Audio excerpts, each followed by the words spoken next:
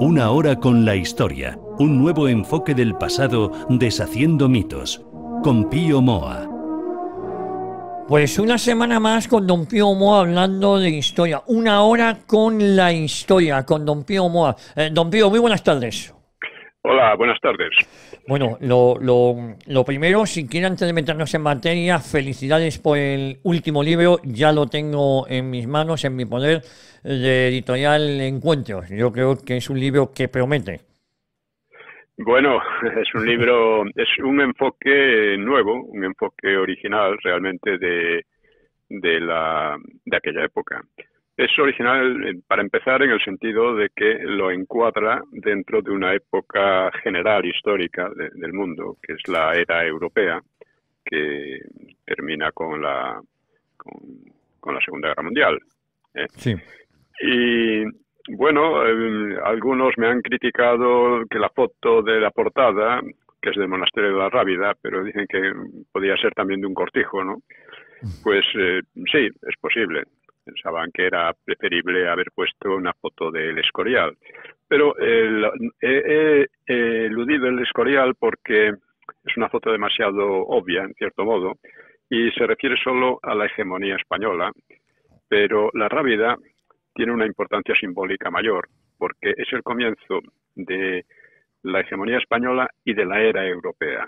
Es decir, cuando eh, durante cuatro siglos y medio Europa va a marcar un poco el, rumbo de la historia humana, hasta, ya digo, hasta la Segunda Guerra Mundial, y que eso empieza precisamente con el cruce del Atlántico por los españoles y luego del Pacífico, y precisamente todo eso empezó en la Rábida. O sea, de allí salió el descubrimiento de América y del mundo, porque fue continuado por el cruce del Pacífico, como digo. Es decir, allí empezó tanto la gran época de España, aunque esa gran época databa de antes de la reforma de los reyes católicos, pero allí ya se, se condensó, por así decir, y empezó también la era europea. La era europea empieza con la hegemonía española. La hegemonía luego va a seguir con la hegemonía francesa y luego con la inglesa hasta que en el siglo XX parece que quien estaba llamado a ejercer esa hegemonía en Europa y indirectamente en el mundo pues sería Alemania, pero fracasó en las dos guerras mundiales. Y es necesario ver este, este asunto en toda su amplitud histórica, que va más allá del descubrimiento de América y que rara vez se hace. Y he querido exponerlo en el libro. ¿eh? ¿Qué significó la hegemonía española eh, no solo en relación con España, con la lucha con los otomanos, con los protestantes, con Inglaterra, con Francia, etcétera, sino también la, o sea, la, el comienzo de, o sea, el descubrimiento del mundo, en definitiva, no solo de América, del mundo. Es cierto que la fotografía podía haber sido mejor, pero tiene, me interesa, aparte de que allí empezaron, empezó, ya digo, la, el descubrimiento de América, pues eh, eh, es interesante, en contraste con el Escorial, ver la, relativa modestia del convento de, la Rábida. Eh, y ese además eh, tiene una posición, es un paisaje dramático, lo que pasa es que ahora como han repoblado aquello queda más, más dulce, no más suave, pero un paisaje dramático de dunas y de arbustos, etcétera, que sobre la cerca de la desembocadura del Tinto y el Odiel y, y delante del, del Atlántico. Y esta, esta posición fue apreciada desde una antigüedad muy remota, porque allí se erigió, parece ser, un templo fenicio, probablemente algún dios protector de la, de la navegación. Eh, se relacionó en la época romana con Saturno y también con Proserpina, hubo un templo a Proserpina, y luego un establecimiento musulmán de monjes guerreros. La Rábida significa eso, viene de Ribat, que era una especie de convento de monjes guerreros, ¿no? Y después otro convento templario y finalmente franciscano.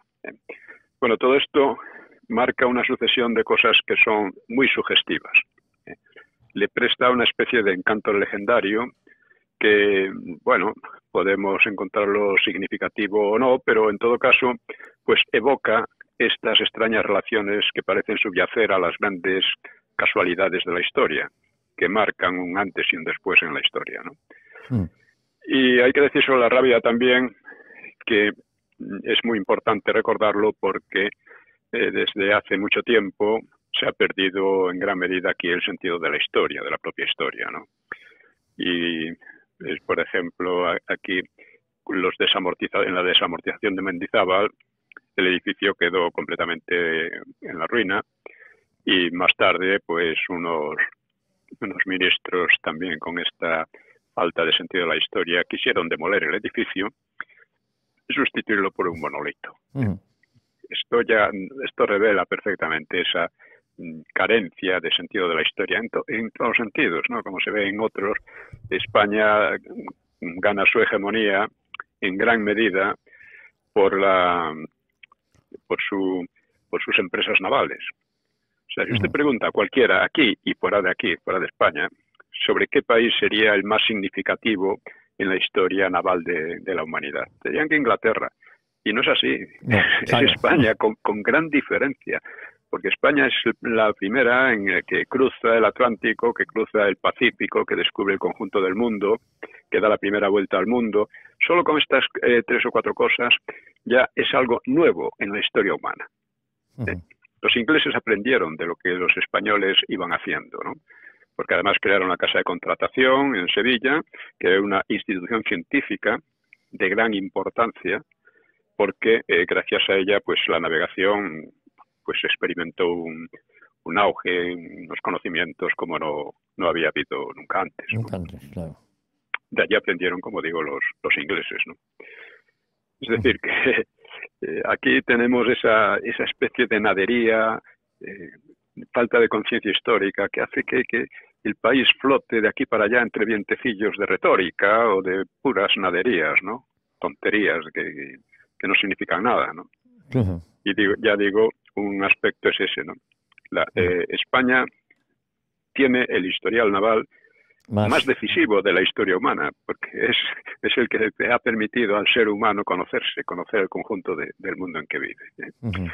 Y hablando de eso, pues eh, de la Rábida, pues eh, tenemos ahora unas elecciones, las elecciones andaluzas, que tienen un gran interés porque, porque claro, plantean también el problema este de, de la historia. En la Rábida cuenta Aquilino Duque, que murió hace algún tiempo, era un buen amigo, pues este comenta un, un incidente que hubo una vez en una, un congreso internacional, vamos, hispánico, ¿no? entre países de Hispanoamérica y, España, eh, un congreso científico, y allí había, pues estaban las banderas de los países hispanoamericanos y estaba también la, la bandera española. Y unos y un día ven que la bandera española ha sido arriada y sustituida por la bandera que llaman andaluza. Con lo cual hubo una serie de incidentes que terminaron que se pusieron las tres banderas, la española, la andaluza y la de, la de eh, palos de mover o algo por el estilo. Eh. Bueno, pues claro, esto había indignado mucho a Aquilino Duque. Y escribió un artículo en que mm, decía, bueno, ya que estamos en estas, pues, y ya que, por ejemplo, los vascos y los catalanes tienen un nombre especial para sus banderas regionales, dice, yo propongo una, un nombre especial también para esta bandera, un nombre de, de abolengo árabe y cierto carácter popular, que es la de aljofifa. O sea que la, así como nos llaman la señora y tal, pues aquí sería la aljofifa. y claro, ¿qué es una aljofifa? Pues una aljofifa es una expresión, una palabra popular andaluza, pero que ya no se usa tampoco, y que es un, paño de fregar el suelo. ¿Por qué? pues porque, claro, aquí la, la cuestión es que la bandera que llaman andaluza no es andaluza, es una bandera islámica. Es una bandera islámica eh, inventada por un locuelo peligroso, igual que la bandera, la, la, icurriña la inventó otro loco peligroso, que era el, Sabino Arana. Bueno, pues esta la inventó este Blas Infante, que pretendía disgregar a España e islamizar Andalucía. y a quien unos políticos golfos y corruptos pues lo han declarado padre de la patria andaluza. La patria andaluza es España. Mm. Bueno, pues Moreno Bonilla, el del PP, es un gran admirador de Blas Infante. ¿eh? Eh, y eso no debe olvidarse, como lo son los otros. La llamada bandera andaluza o aljofifa no es andaluza, es islámica. La inventó, como digo, ese Blas Infante, admirado por todos los partidos, menos se supone que por Vox. ¿eh? Y es una bandera que el propio Blas Infante reconoce que tiene la bandera, es la bandera verde de los Omeyas y la bandera blanca del Imperio Almohade. ahí, ahí se condensa toda la idea y toda la ideología. ¿no? Bueno, pues eh, este, em, pues este fulano le han hecho padre de la patria andaluza, lo cual es un verdadero insulto a, todos los andaluces. ¿eh? y, las majaderías de este Blas Infante fueron una de las mechas que prendieron la guerra civil. Cuando llegó la, la, guerra, pues fue fusilado. Los suyos también fusilaron a Mansalva. Y por otra parte, es lo que pasa muchas veces, que quien se va viento recoge tempestades el Moreno Bonilla, por ejemplo, ha apelado a la memoria de Blas Infante para superar la crisis del coronavirus. Cosas así, ¿no? Esta es la política de, esta gente. Y no debe olvidarse. ¿eh? que, yo creo que eh, precisamente lo que se trata es de que estas elecciones en Andalucía se planteen estas cosas con claridad. Que sean las elecciones de la Aljofifa. ¿eh? Eso es. Porque, eh, como diríamos, la o sea, no, no es un asunto menor. No, no. O sea, para la mayor parte de estos políticos lo plantean como, bueno, sea una cosa como retórica y tal. Dice, mire usted, llamar padre de la patria andaluza al proislámico ente español Blas Infante, bueno, es, es algo intolerable y hay que acabar con ello. Y la cuestión del supuesto padre y de la bandera o aljofifa no es mera retórica, porque define unas políticas antiespañolas que propugnan abierta o solapadamente la disgregación de España en pequeños estaditos corruptos y manejables para potencias exteriores. En definitiva, es eso, es también lo que ocurre en Cataluña y en otros lugares. Y que es, eh, eso lo hacen tanto el PSOE como el PP. Y insisto, es un insulto a los andaluces ponerles a este padre de la patria. De la patria andaluza. Un, perturbado, enfermo de retórica barata e ingrandilocuente, que si la humanidad, que si el progreso, que si no sé qué, toda esta gente siempre dice lo mismo, ¿no? Como si ellos representaran algo de lo que dicen. Eso es. Bueno, pues es, insisto, es una cuestión muy importante. ¿eh? Y este conviene recordar las cosas que decía aquel fulano, ¿no? Dice, nuestra bandera de inocentes colores, colores blanca y verde, inocentísimos, uno de los omeyas y otro de los almohades, que era un imperio marroquí, casualmente, ¿no? Dice, le hemos quitado el negro como el duelo después de las batallas, el tío era muy belicoso, ¿no? Y el rojo como el carmín de nuestros sables. Y todavía se inquietan. O sea, este tío era así. Era así. Decía cosas como, sentimos llegar la hora suprema en que habrá de consumarse definitivamente el acabamiento de la vieja España. Declarémonos separatistas. Este Blas Infante eh, era, bueno, quería reconstruir el alfabeto andaluz, porque decía que la lengua andaluza es distinta de la española. Tiene una serie de sonidos que no corresponden a los sonidos mesetarios, ¿no? También llamaba mesetarios, ¿no? Y ahora han llamado mesetaria también al Vox, a Vox allí. Sí, sí. Bueno, pues él eh, no soportaba el tener que valernos, dice así, valernos de los signos alfabéticos de Castilla, que son los signos latinos, ¿no? Comunes a toda Europa, ¿no? Bueno, pues el moreno Nocilla le ha expresado su admiración, como tantos otros, ¿no? Decía, avergoncémonos de haber sufrido a España y condenémosla al desprecio. Vale de la patria andaluza. Este, claro, eh, eh, odiaba la reconquista. La reconquista, según él, fue una, en fin, una imposición de puro, pura animalidad sobre los cultos y refinados andalusíes. Era una cosa que él imaginaba, ¿no? Bueno, pues eh, ahora, eh, gracias a la Reconquista, Andalucía es parte de España y no parte del Magreb. Pero esta gente parece querer llevarnos a, allí, al Magreb, eh, aunque sea poco a poco, porque claro, la realidad no es tan fácil de liquidar de, un golpe. De un golpe, claro. Bueno, pues esto, insisto, sería muy importante que eh, o sea, que, la, estas elecciones se plantearan estas cuestiones, porque no son cuestiones menores. ¿Y quién lo va a plantear? Pues debemos plantearlo todos. Es decir, no, no importa si los eh, partidos quieren sacarlo a, primer plano o no, mm. pero cada uno de nosotros, aprovechando las redes sociales, aprovechando todos los medios posibles, eh, yo en el blog voy a insistir en ello, pues pueden sacarlo para obligar a los partidos a replantearse todo esto. Esto no puede ser. No puede ser que una parte de España tenga una bandera islámica, que declare padre de la patria a un, a un fulano medio chiflado, que aparte de ser medio chiflado, era, era muy mal, muy, vamos, muy anti-español, ¿no? Eh, entonces, bueno, pues, pues esto. Hay un tema también eh, que siempre se relaciona con nosotros y es la, la guerra de Ucrania. lo primero que hay que decir es que la guerra de Ucrania no habría estallado si Zelensky hubiera cumplido los acuerdos de Minsk y hubiera aceptado la neutralidad de Ucrania. No habría pasado nada. Es más, para Ucrania le había sido muy bueno, como le ha sido durante muchos años para Finlandia o para Austria, pues mantener la neutralidad, porque así pueden negociar y comerciar con unos y con otros, ¿no? Y beneficiarse de eso, ¿no? De la neutralidad. Como España podría beneficiarse mucho de la neutralidad. Y se benefició en otros tiempos. La verdad es que eh, hay un argumento que emplean algunos. Bueno, pero un país soberano como Ucrania puede decidir con quién se alía. Sí, claro, pero otro país soberano como Rusia puede defender su seguridad si la siente amenazada por la entrada de la OTAN en Ucrania. ¿eh? Y lo ha estado advirtiendo durante siete años. Y tiene razones para sentirse, eh, para sentirse amenazada porque la OTAN ha protagonizado una serie de acciones que han destruido países enteros como Libia o Siria. ¿eh?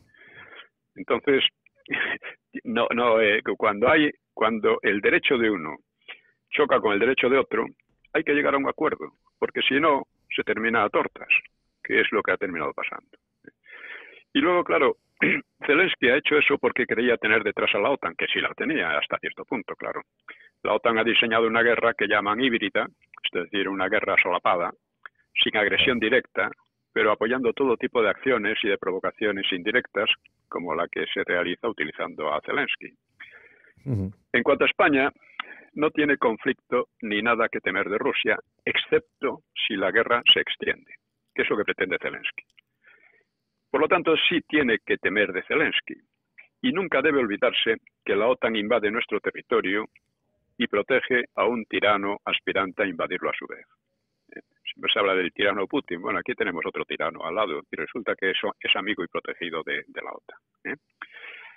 Bueno, pues la guerra de Ucrania pone también de relieve la crisis de la democracia con la evolución totalitaria de las potencias LGTBI de la, de la Unión Europea y cómo utilizan su, una verdadera propaganda de guerra para crear una rusofobia histérica y el robo sistemático de propiedades rusas con el objetivo de sembrar el hambre en Rusia. España no tiene por qué ser aliada de Rusia, ni debe ser aliada de Rusia. Pero con respecto a la OTAN, debe salir de ella y aplicar una política de, neutralidad. Y esto es, aquí de todo el mundo, nadie parece que, tiene en cuenta en este problema los intereses de España. Son todo intereses de otros, ¿no? España tiene, debería tener sus propios intereses.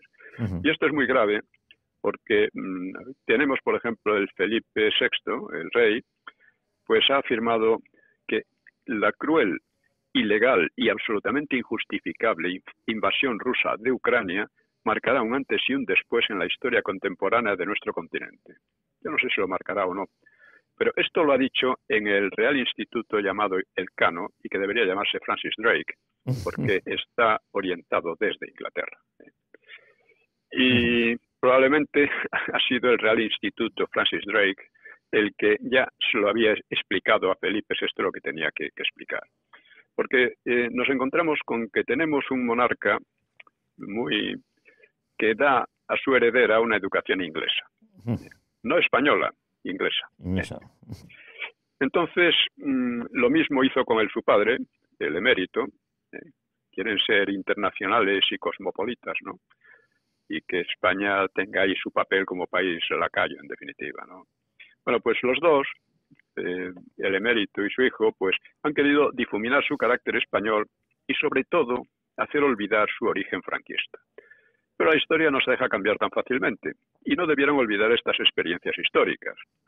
O sea, realmente, si comparamos la, monarquía con los republicanos que tenemos, pues sí, es preferible la monarquía, pero claro, la monarquía puede cometer grandes errores y hay una experiencia, puede suicidarse como hizo en el 31, porque la monarquía cayó por un golpe, por un autogolpe de, de los monárquicos. ¿eh? Luego tenemos este tipo de cosas, eh, que, quienes acusan de corrupción al emérito sean los políticos más corruptos que ha tenido España en más de un siglo, pues, pues ya indica dónde hemos llegado. O sea, sospecho que el emérito va a ganar alguna publicidad y es posible que Felipe, siempre tan servicial con el doctor, pues que eh, pierda una poca. Mm. Bueno, pues eh, estas son algunas de las cuestiones que, he estado tratando. También algunas parece que eh, de otro tipo, pero también importantes, lo he mencionado en pequeñas eh, frases en, el blog, Más España, Más Democracia. Parece que la viruela del mono proviene de una macrofiesta internacional de homosexuales, eh, acompañada de drogas, claro, en Maspalomas. La macrofiesta se llamaba Maspalomas Pride, o Orgullo de Maspalomas. En inglés, claro, como, si no. Debe ser el pride del mono, el orgullo del mono, ¿no? No hay que olvidar que el actual jefe de gobierno español, vamos a llamarle español, ¿no? Un falso doctor, está relacionado familiarmente con los negocios de la prostitución homosexual, como lo está con otro tipo de negocios, los de los separatistas y proetarras. Claro, ante esto que está pasando, uno piensa, ¿no habrá salido de ahí, de esos negocios, algún SIDA o alguna viruela en el pasado? Posiblemente, ¿no? También eh, la cuestión de la, del Festival de Eurovisión, yo llamo Euromicción. Pues Chanel es una mujer moderna, habla spanglish y se besan los labios con otras mujeres, casi todas casi en pelotas, y asegurando además que es lo mejor entre amigas y por lo menos no cogerá la viruela esa del mono, ¿eh? que parece que se coge por otro de otra manera. Bueno, dicen que Chanel defiende a España y que ha hecho historia con un tercer puesto en el, en el festival ese. Esto es asombroso. Ha hecho, defiende a España eh, en Spanglish con una canción medio, vamos a, no sé cómo llamarla, ¿no? Y que ha hecho historia además, con un tercer puesto. O sea, la, el grado de estupidez y de farsa que ha llegado eh, en España a la política es, terrorífico. ¿no? Claro, en relación, por ejemplo, también con, con, la guerra de Ucrania, me dice un amigo, pero si hay que elegir entre Rusia y USA, es preferible USA. Le digo, bueno, muy bien, pero lo que debemos entender y defender son los intereses de España. Y estos empiezan por rechazar esa disyuntiva entre Rusia y USA. ¿eh? Empiezan por no aceptar la satelización ni a USA ni a Rusia y empiezan por plantearnos la neutralidad y la salida de la OTAN. En fin, con esto yo creo que podemos pasar al tema. Al tema que nos ocupa hoy, ¿no? Que nos ocupa hoy, que es lo de, del franquismo, ¿no? Eso es. Eh, estábamos en la transición, habíamos tenido varios episodios y, vamos a continuar, ¿no? Vamos a continuar con eso. Mm. Eh, es preciso mm, señalar, o estamos hablando de que en 1969 se abre el proceso de transición con el nombramiento de Juan Carlos como, como rey oficialmente. no como rey todavía, pero sí como el, el, que va a ser rey. Entonces, esto significa que, eh, bueno, después de Franco va a venir otra cosa. Esto lo veía todo el mundo, que era así. Que otra cosa nadie lo tenía del todo claro. Era pero en cierto modo no podía ser lo mismo que el franquismo, porque en el franquismo eh, la figura de Franco mm, tenía un relieve especial y eh, sobre todo, claro, no surgen los Franco uno tras otro, ¿no? pero sobre todo porque el propio franquismo estaba en descomposición interna. El franquismo, como decimos, no era un, un régimen de un solo partido, sino que había cuatro partidos que en aquellos momentos ya se estaban llevando muy mal entre ellos cada uno tiraba un poco por su lado, Sí. y además dentro de cada uno de ellos se llevaba muy mal a su vez. Había tendencias de, de lo más eh, contradictorio, ¿no? Sí, sí. Carlistas, por ejemplo, había los había trotskistas prácticamente. Eh, en la iglesia, en la- el sector, eh, digamos, epis- episcopal, pues lo mismo. Había parte del clero que apoyaba a los comunistas, a los separatistas, etcétera. En los monárquicos había un- también un, gran descontrol, no se sabía muy bien por dónde tirar. Y, en fin, pues la falange pasaba lo mismo. Estaba dividida ya en varias, varias tendencias. Por consiguiente, el franquismo realmente, eh, el problema que se planteaba era el cómo evolucionar sin volver a una guerra civil o a un- una situación difícil o algo como lo que luego pasó en Portugal, un golpe militar. Entonces, que es muy importante entender lo que había sido eh, el franquismo, que tuvo una- un régimen de un éxito increíble, el de mayor éxito en España desde, desde la invasión napoleónica, incluso desde antes. Se le podría eh, caracterizar como una dictadura peculiar, dictadura en el sentido de que Franco tenía grandes poderes, ¿no? aunque limitados, autolimitados y limitados institucionalmente cada vez más, ¿no? que era de tipo un régimen de tipo autoritario, evolutivo, porque no era lo mismo en unas épocas que en otras, sino que se iba adaptando a las situaciones, ¿no? Las situaciones que creaba el propio franquismo, sobre todo de mejora en las condiciones de vida de España, ¿no?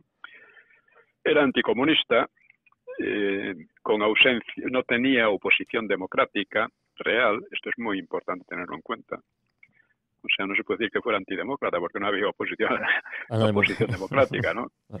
Era un régimen con rasgos liberales muy curiosos, muy fuertes, como un Estado que era relativamente pequeño y con un fuerte legalismo.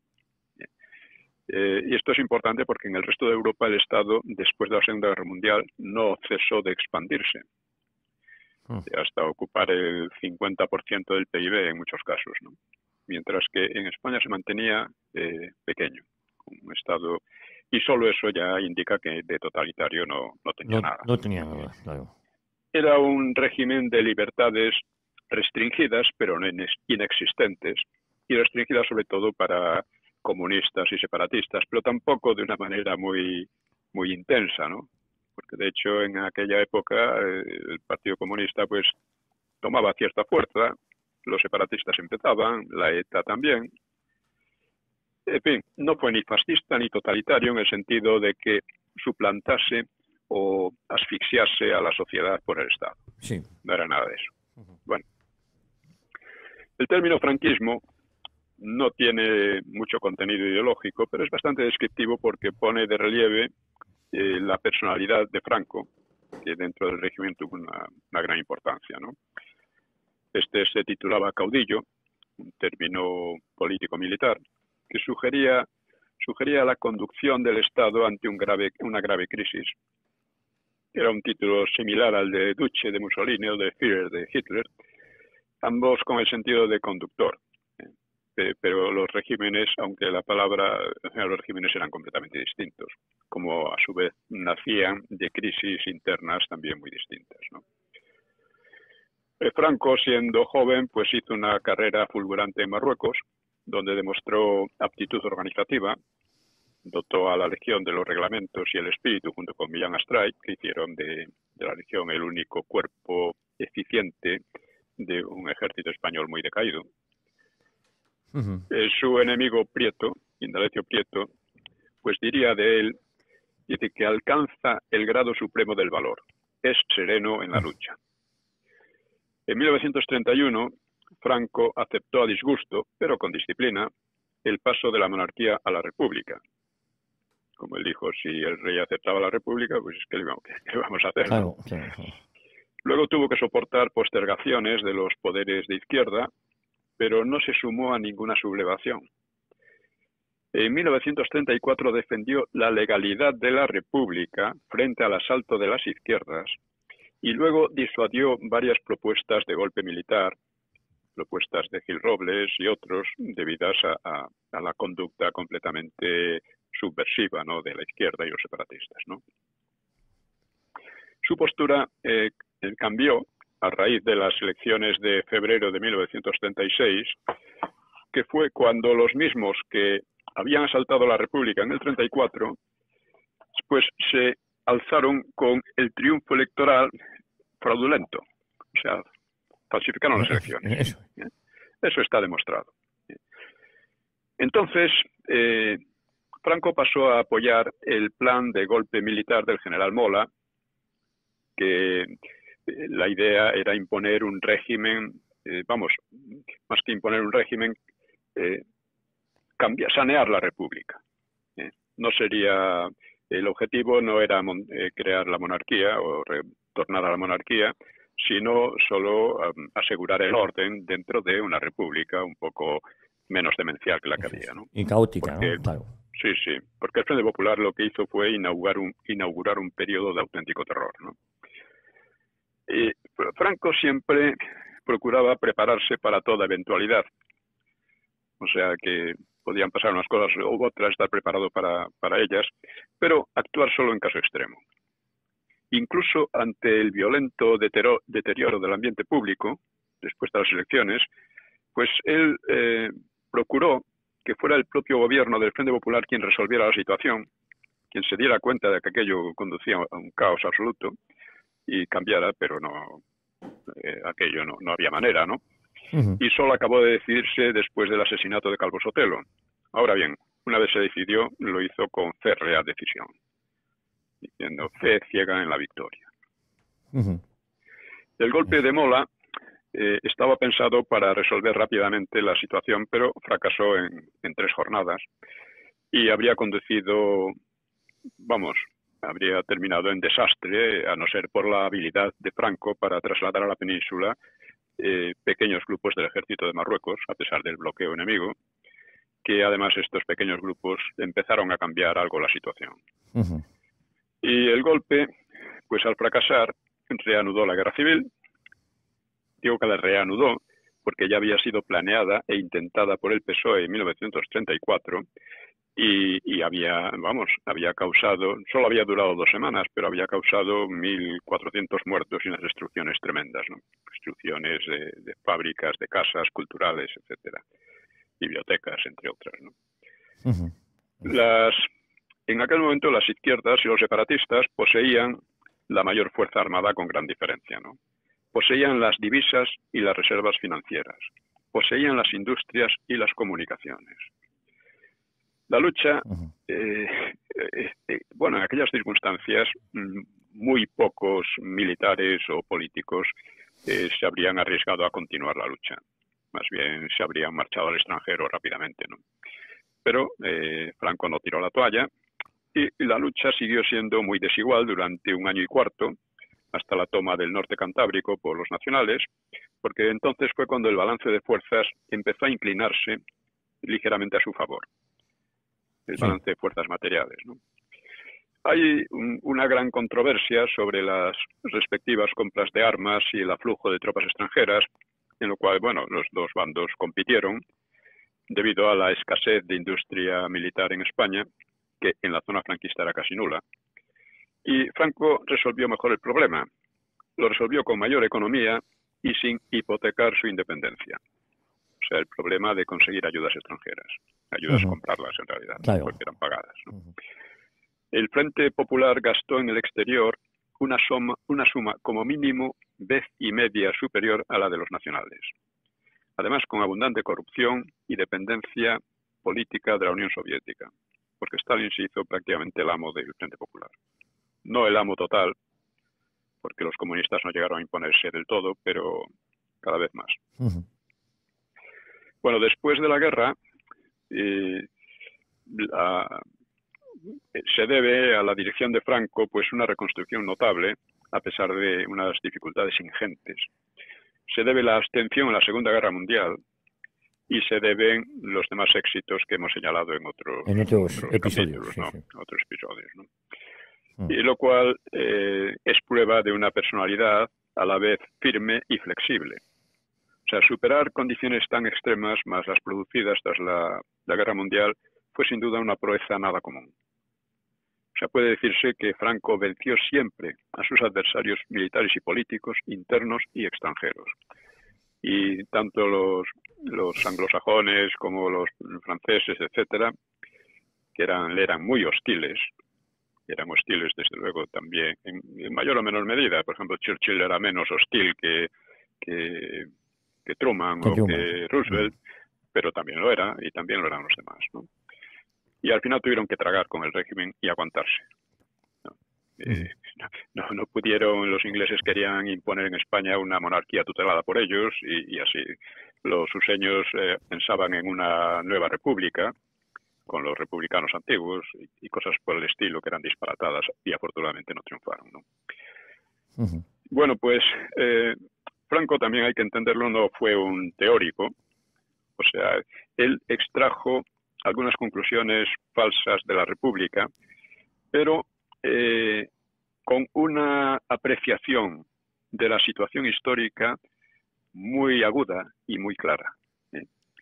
Si antes de la República él había deseado una democracia ordenada, porque esto también se olvida mucho, cuando su hermano participó en el golpe militar con que querían traer la República al principio los republicanos, lo primero que pensaron un golpe militar. pues eh, eh, Franco le, escribió que la democracia, una democracia ordenada era la mejor solución para España y que ese tipo de golpes y tal, lo único que podía traer eran tiranías. Lo dijo así, está en carta, es una carta después escrita por él, que por cierto la menciona Preston, pero olvidando estas frases. Menciona cosas de, insignificantes, ¿no? De si le daba dinero o no le daba dinero a su hermano, cosas así. Pero lo importante era su punto de vista entonces.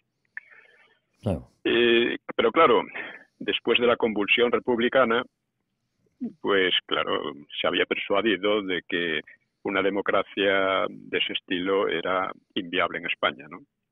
Sobre todo, máxime, cuando también estaba en crisis en el resto de, Europa. El franquismo aspiraba a superar tanto el liberalismo como el socialismo y adaptarse a la idiosincrasia y tradición españolas. Esto era más o menos la, percepción general que tenía Franco. Franco también se daba cuenta de que España necesitaba una larga convalecencia después de la prueba de, de la República y la Guerra Civil. Después, él pensaba, las instituciones garantizarían la continuidad del régimen, pero sin un poder personal como el suyo. Esta era un poco la, visión general que, evidentemente tenía Franco, y como sale, se demuestra en sus discursos y en sus actos sobre todo. Bueno, pues en 1969 Franco era ya anciano y em, parece que contrajo el mal de Parkinson, que es una lenta enfermedad degenerativa del sistema nervioso, pero se conservaba bien, mental y físicamente, aunque parece que su capacidad para decidir estaba algo mermada. ¿no? Él era de familia longeva, o sea que podía durar en el poder pues bastantes años más, como, el, como Adenauer en Alemania, que duró, estuvo hasta los 87 años, pero dentro y fuera de España eh, pues crecía la preocupación por el país, porque cuando falleciera, ¿qué iba a pasar? Teniendo en cuenta la, importancia de su persona. Eh, él diría, pensaba, pues serán las instituciones, ¿no? Empezando por la monarquía, ¿no? Eh, y ya hubo una advertencia de, de, calado, ¿no? Por parte del Vaticano. El 23 de junio, estamos en 69, el Papa Pablo VI, en una alocución al, Colegio Cardenalicio, pues expresó su inquietud por España, inquietud en su, la palabra que empleó. Y propugnó un ordenado y pacífico progreso en que no falte una inteligente valentía en la promoción de la justicia social. Claro, esto eh, no dejaba de ser un ataque al régimen, porque el régimen se jactaba precisamente de su justicia social y, su, y de su ordenado y pacífico progreso, y se jactaba con razón.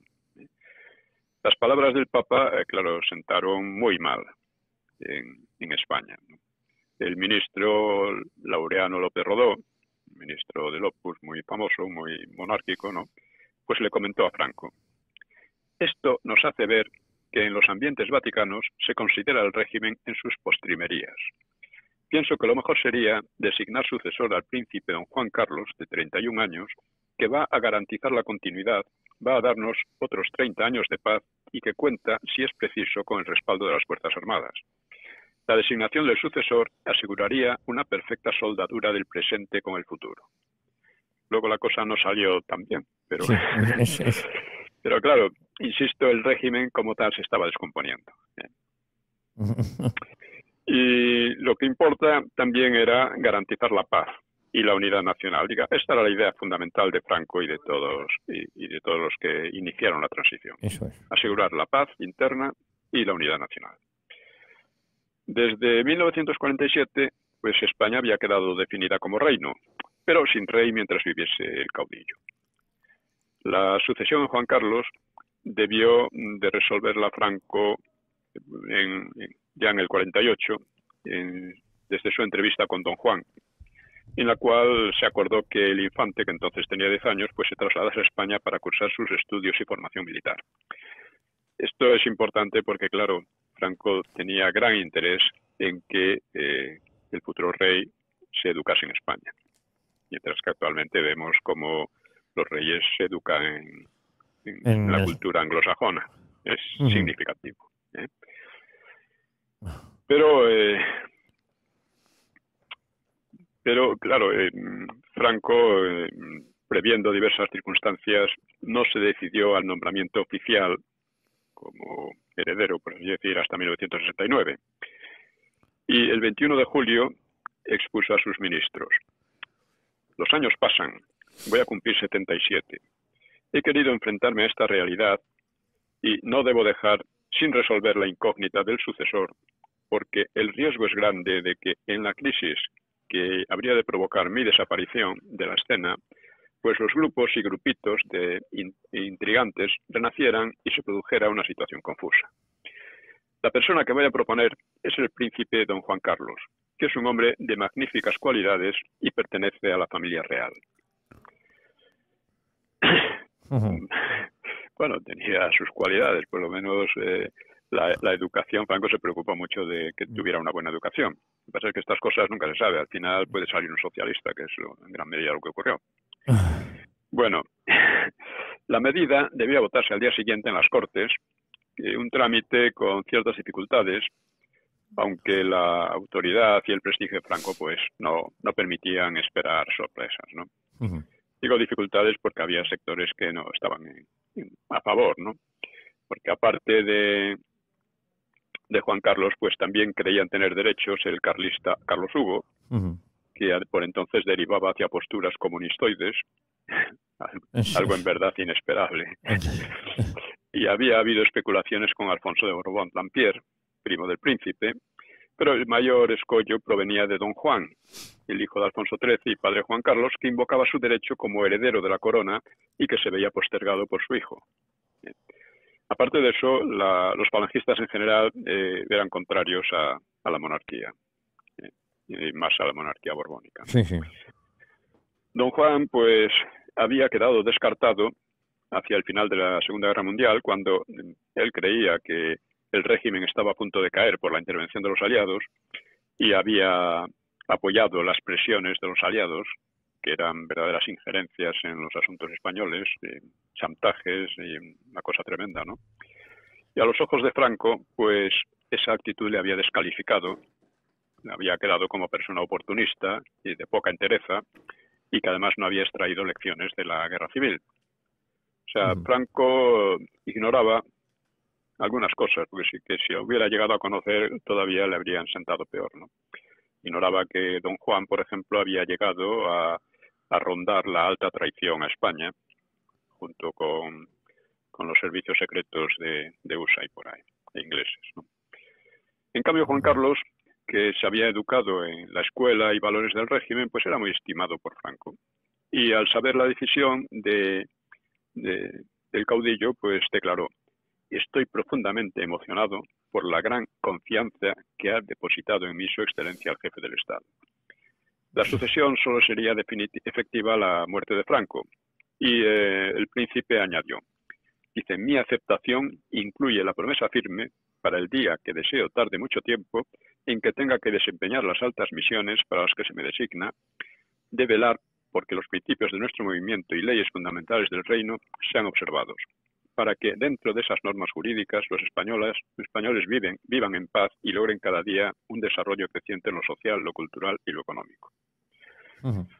Todo eso estaba muy bien. Otra cosa es que fue llegar a ser posible. Ya hemos visto que había muchos problemas, ¿no? Hmm. Y poco antes eh, Juan Carlos había hablado con su padre y le había dicho, ¿qué harás tú? Es que hay otra solución posible distinta de la que Franco decida. ¿Eres capaz tú de traer la monarquía? Claro, don Juan estaba muy enojado, ¿no? Estaba guiado por sus consejeros Areilza, Saint Rodríguez y García Trevijano y declaró a la prensa internacional que la decisión de Franco contrariaba la tradición histórica de España y que no se había consultado a él ni la voluntad libremente expresada del pueblo español. O sea, parece que pretendía un referéndum, ¿no? Sobre si de monarquía o república, que es lo que están diciendo ahora. En fin. Y don Juan reiteraba su deseo de ser rey como poder arbitral por encima y al margen de los grupos, dentro de una representación auténtica popular, garantía integral de las libertades colectivas e individuales, en el marco político de Europa Occidental. O sea que don Juan estaba apelando a, otros países para que presionaran a su favor, diciendo que él iba a hacer una cosa parecida a ellos. ¿no? Don Juan y sus consejeros solo habían aceptado la democracia cuando se dibujaba la derrota alemana. Antes habían preferido lo que llamaba la democracia orgánica y él siempre había especulado con una caída del régimen para ser llamado como única salida y tenía por ilegal la designación de su hijo. Por cierto, don Juan se había educado en Inglaterra, ¿no? es más en la Marina inglesa. Pero Franco no pensaba en Juan Carlos como restaurador de la monarquía borbónica, sino en una nueva instauración. No llamaba restauración, sino reinstauración. Reinstauración, claro. Eso es. Ante la escasez de sus partidarios en España, en aquellos momentos había muy pocos monárquicos entre la población, y ante la división de los propios monárquicos, don Juan pues terminó disolviendo su consejo privado, pero sin aceptar explícitamente la sucesión de su hijo. Y otra oposición a Juan Carlos venía de falangistas, como digo, partidarios de un regencialismo a cargo de algún militar o político, arguyendo que tanto don Juan como su hijo, fueran cuales fuesen sus declaraciones y juramentos, demolerían el Estado del 18 de julio. Pues sí, pero lo estaban demoliendo entre todos ya. Sí. Esa es la verdad. a principios de año, varios ministros hicieron declarar un estado de excepción sobre texto de disturbios universitarios en Madrid y Barcelona. La medida era muy excesiva para la magnitud del desorden, que era pequeño, ¿no? Pero sus promotores intentaron prolongarla, quizá con la idea de retrasar la decisión sucesoria. Pero López Rodó consiguió cortarla a los dos meses, el estado de excepción. Los contrarios al príncipe demandaron, pero en vano, claro, la, ausencia de, de Franco en la votación de las Cortes para evitar su influjo, o sea, que la votación, que no estuviera Franco, para, para poder ellos tener más los contrarios a, vamos, los contrarios a Juan Carlos, ¿no? para no tener, poder ellos expresarse con más fuerza, ¿no? arguyendo que todos sabemos que este paso no garantiza el futuro de la patria, otros invocaban la legitimidad democrática para proponer la monarquía juanista frente al inmovilismo y la despolitización de la sociedad. España exige saber a quién puede deber los cimientos de su reconciliación o, por el contrario, conocer quiénes son los responsables de plantear una nueva y grave situación conflictiva. Lo que había, como estamos viendo, era lógico, pues una gran inquietud por lo que podría suceder, ¿no? Y el día 22 en las Cortes, pues 491 procuradores votaron a favor, 19 en contra y 9 se abstuvieron. Juan Carlos dio un fuerte abrazo a López Rodó, que tanto había trabajado a su favor, y han trabajado a él también eh, Carrero Blanco, y le comentó con pena, dice, cómo la gente suele uncirse al carro del vencedor. Su padre solo había recibido 50 telegramas y 83 llamadas telefónicas. En cambio, a él le habían llegado las felicitaciones por millares. Esto es también muy típico, el ser humano es así. Sí, sí. y eh, pues había una observación interesante del ex ministro Licino de la Fuente, que era falangista pero partidario de Juan Carlos. Dice, el pueblo llano no tenía el menor recuerdo de la monarquía, ni el menor fervor por restaurarla. Los militares estaban divididos. La falange, en su mayoría, era contraria. Los partidos, en la oposición o en el exilio, veían en la monarquía la puerta para entrar en España y desembarazarse de ella, de la monarquía, a la primera ocasión. Esta era la situación que había entre unos y otros, ¿eh? no, era otra. Y Fernández de la Mora también explica, sin Franco no se puede explicar el establecimiento de una corona en la España del último tercio del siglo XX. Probablemente la única vez que tan extraordinario suceso se produce en Occidente. O sea, que una monarquía caída vuelva. Esto se debe a la voluntad de Franco, no a otra cosa. Recuerdo este Araquistain, eh, ya en la República, era socialista, muy guerra civilista, eh, explicaba en la revista eh, Useña Foreign Affairs que, eh, que en Europa una monarquía que cae ya no vuelve, ¿no? Y hasta entonces había sido así. la sucesión se apoyaba poco más que en el prestigio de Franco. Y concluye Fernández de la Mora. Ningún monarca español había hecho por su heredero lo que Franco por el príncipe, porque no se redujo a aplicar el derecho sucesorio tradicional, sino que literalmente le hizo rey casi desde la nada. Con la, digo esto porque, claro, eh, tanto luego Juan Carlos como, como su hijo han sentido mucho interés en que se olvidara este dato de Franco. Tal, por otra parte, ¿no? Con la incertidumbre de si finalmente Juan Carlos llegaría a ser aceptado por la mayoría de la población y de los grupos políticos, y de lo que haría cuando llegase al trono, pues el régimen pareció culminar así su trayectoria y asegurar su continuidad con firmeza, una continuidad que, mm, en fin, insisto, para Franco y para otros significaba la paz y la unidad nacional ante todo. ¿eh? Evidentemente sabía que había cambios, pero sin afectar al marco de las leyes, es la idea. Todo queda atado y bien atado, dijo Franco, refiriéndose a la sucesión. Y en 1969 también se cerró por completo la frontera con Gibraltar, lo que causaría serios daños a la economía de la, colonia y fuertes costes a, Londres. Esto fue el resultado de una victoria política de gran importancia del franquismo en la ONU contra la pretensión inglesa de declarar colonia a, a Gibraltar de manera tal que Gibraltar siguiera, o sea, se descolonizase, pero asegurando su sujeción en adelante a, Inglaterra. Esto fue una gran victoria. Los ingleses, por supuesto, les dio igual, vamos, les dio igual, se la desobedecieron, ellos obedecen los acuerdos de la ONU que le convienen y los que no, no. Los que no, no. y el resultado fue que Franco cerró la frontera con Gibraltar. Eh, don Pío, nos quedan eh, unos tres minutos, tres, cuatro minutos. Sí, bueno, pues ya vamos a ver un poco la situación general que había en el mundo en aquel momento, ¿no? Porque, fuera por ejemplo, eh, fuera de España, eh, USA estaba aumentando su implicación en la guerra de Vietnam y realizando bombardeos secretos sobre Camboya para destruir las rutas del Vietcong. Y aquella guerra interminable se convertiría en una pesadilla tanto para el gobierno de USA, hubo con protestas pacifistas en todo el mundo, especialmente en la misma USA, y sobre todo de estudiantes y jóvenes. Los pacifistas querían abandonar Vietnam a los comunistas y sus numerosas manifestaciones, que a menudo eran violentas, pues han dejado un aroma de, buena música, una música interesante de aquella época, mm. música popular, y también droga. Eh, un ejemplo clásico fue el eh, legendario festival de Woodstock, ese mismo año 1969. Eh, fue una una orgía generalizada, ¿no? Sí, sí. La, guerra de Vietnam pues iba a convertirse en el enfrentamiento más duro y simbólico de la Guerra Fría, entre el sistema occidental y el comunista. Otro aspecto de la pugna entre el este y el oeste se manifestaba en la carrera especial, en la que los soviéticos y los ruseños pues alternaban sus éxitos hacia Venus y Marte. no obstante, USA conseguiría un triunfo muy importante al poner por dos veces astronautas militares en la Luna.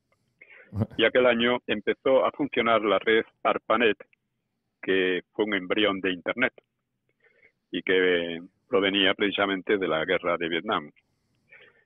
Fue allí donde se cocinó lo que luego sería Internet. Y también se produjeron graves choques fronterizos entre los regímenes comunistas de China y de la Unión Soviética. Muy significativo. Y en Europa, pues Irlanda del Norte vivía un estado de casi guerra civil, con numerosas acciones sangrientas y manifestaciones violentas. De Gaulle dimitía de presidente de Francia al perder un referéndum, una especie de resaca de la revolución estudiantil del año anterior, del 68, que tenía, había tenido un carácter marxista, anarquista, freudiano. Y en Alemania subía al poder Willy Brandt, partidario de la Ostpolitik, es decir, del entendimiento con Alemania Oriental y los países comunistas, lo cual los fortalecía de algún modo, y considerando que esto será un hecho histórico inamovible que que, iba a permanecer así indefinidamente. Esto lo, era una convicción que tenía mucha gente, por ejemplo aquí en España el historiador Javier Tusell, que muy poco antes de la caída del muro de Berlín decía que, vamos que aquello iba hay que hacerse a la idea de que eso es inamovible, ¿no? Pues este Brandt influiría mucho en la política española porque auspició el, el resurgimiento del PSOE en los años 70. ¿no? Y en Oriente Próximo, otro foco de inquietud mundial, pues eh, Golda Meir, que era la primera ministra, se convirtió entonces en la primera ministra israelí, y Yasser Arafat, pues eh, alcanzó el poder en la Organización para la Liberación de Palestina, OLP, lo que imprimiría pues un activismo mayor y terrorismo y relaciones con otros terrorismos, entre ellos el alemán y el español de, la ETA. Es, eh, es interesante situar lo que ocurría en España con lo que estaba ocurriendo en el entorno y en el mundo. ¿eh? Pues, pues, no sé, con esto creo que pues, podemos. Lo dejamos aquí, si le parece, don Pío. Volvemos la próxima semana aquí a Decisión Radio a, eh, una hora con la historia. Sí, sí, para seguir con estos temas que yo creo que son apasionantes. Son muy apasionantes, muy interesantes recordar qué es lo que pasó. un abrazo muy fuerte, don Pío. Un abrazo. Un abrazo. Hasta luego. Adiós.